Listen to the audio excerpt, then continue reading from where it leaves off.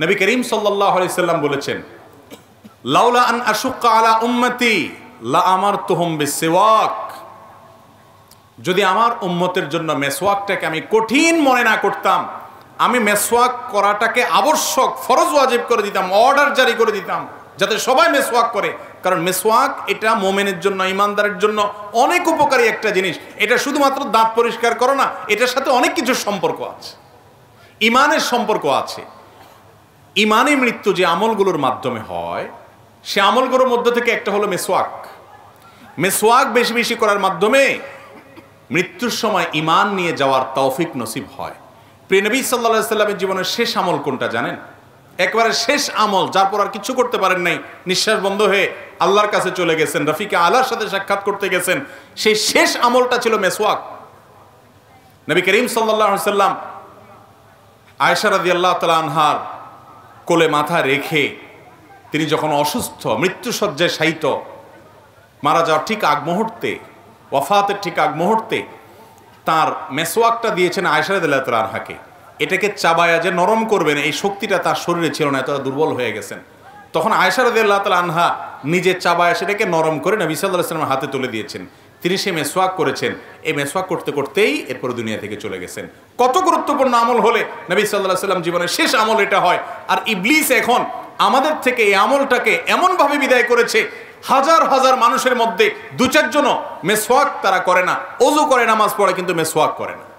ভাইরা আমার, আমাদের দাঁতের যে নার্ভগুলো আছে, এগুলোর সাথে ব্রেইনের একটা সম্পর্ক আছে। মেসোয়াক এটা করার মাধ্যমে আল্লাহ রব্বুল আলমিন বান্দার ব্রেইনে ইমানকে তরতাজা রাখেন। এবং এটা নিয়ে বেশ কয়েকটা গবেষণা আছে। দারুণ দারুণ কিছু গবেষণা আছে। এই গবেষণাগুলো আমি যাদের প্রতি খুব আস্থা রাখি, এরকম কিছু ভাইয়েরা আমাকে পড়ে তার নির্যাসটা জানিয়েছেন আমি তাদের উপরে ভরসা, তাদের উপর আস্থা রেখে আমি সেই আর্টিকেলগুলো সম্পর্কে টুকটাক আরও জানার চেষ্টা করেছি। করার পরে আমার কাছেও পরিষ্কার হয়েছে। তাই যে মেসওয়াকের সাথে মানুষের ইমানে মৃত্যু নসিব হওয়ার একটা সম্পর্ক অনেক সুনিবিড় আছে। আমরা ব্রাশ করি। করেন আপনি ব্রাশ। আমরা আজকাল আঠালো খাবার খাই, চকলেট খাই, এমন কিছু খাই যেগুলো চোদ্দশো বছর আগে মানুষরা খেতেন না। সেই হিসাবে আমরা ব্রাশ করি, পেস্ট ব্যবহার করেন করেন।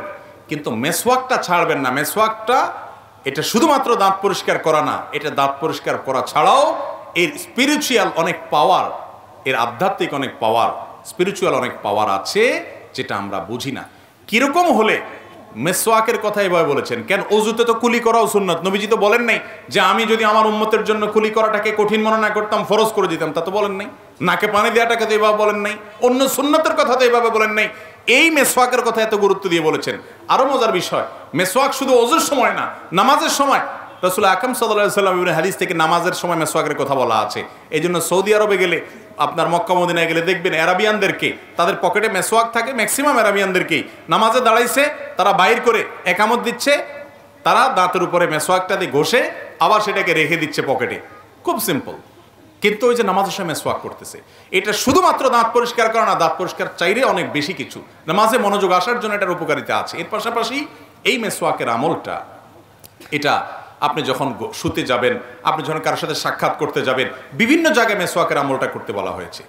এই যে মেসোয়াকের আমলটা, এটা আজ হারিয়ে গেছে আমাদের থেকে। অজুর সময় মেসোয়াক করাটা বিশেষভাবে সুন্নত। করব তো ইনশাল্লাহ গাছের ডাল রেখে দিবেন, একটু ঘষবেন এবং কিছুদিন পর পর পাল্টাবেন। জান্নাত চাইবেন, আর একটু কষ্ট করতে পারবেন না। এই মেসোয়াকের উপকারিতা অনেক অনেক গুণ বেশি। এটা আল্লাহ তালা আমাদেরকে বোঝার তফিক দান করুন।